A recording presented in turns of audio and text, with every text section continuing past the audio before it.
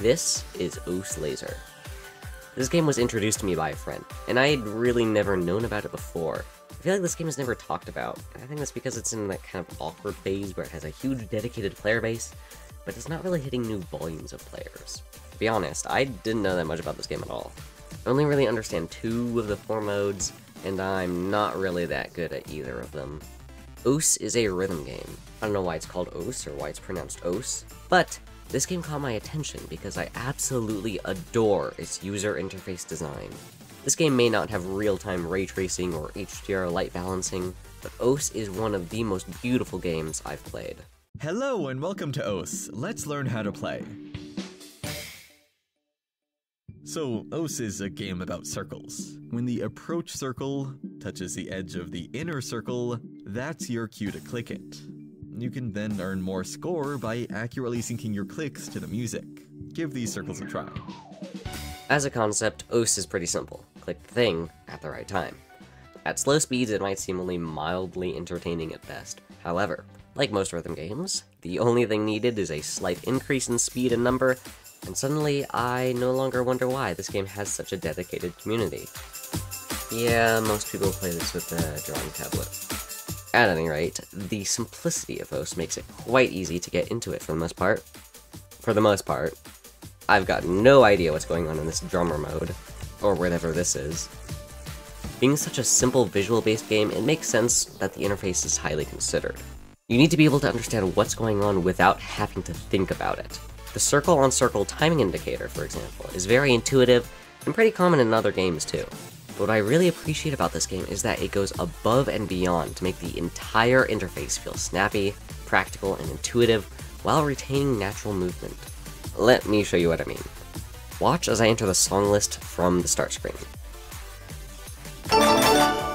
That's quick, but still smooth. You can navigate to the song list by clicking start, then play, then solo, but you can also get there extremely quickly by simply clicking the main button three times. That makes it very simple to get into gameplay.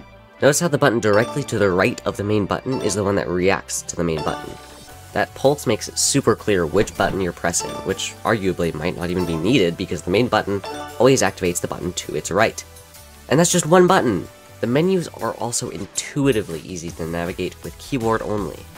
One element of interface design that's often overlooked is the extra time it takes to move your hand between the keyboard and the mouse. May not seem like much, but having an interface able to be entirely controlled without having to move your hands makes such a big difference. Enter, or space, acts as the main button. You can use left and right arrows to scroll through songs, up and down to scroll through beat maps, and any keyboard input will be fed into the live search bar. I love live search. Check this out. Almost anywhere in the game, you can scroll to adjust the volume, which is really convenient when you're in the middle of a song and suddenly it starts blasting your ears out. There are also individual bubbles for effects and music that you can simply hover over to adjust separately. You can also hover over the music player icon, which has a little gauge of the master volume. Not everyone is into interface sounds, but I love them. Take a listen to the settings panel.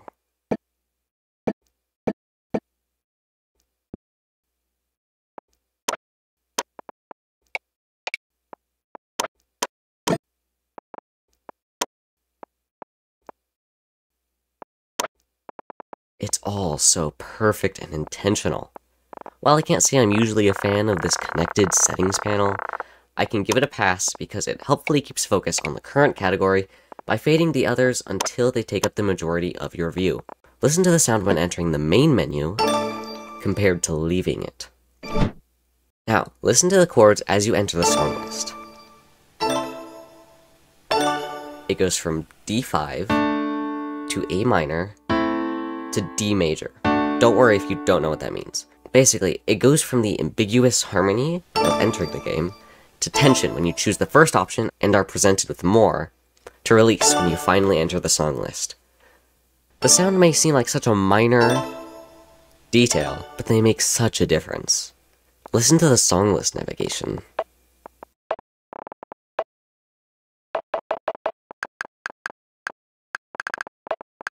That's so nice. Coming back to the visual aspect, the animations are smooth, but never sluggish, slow, or sudden.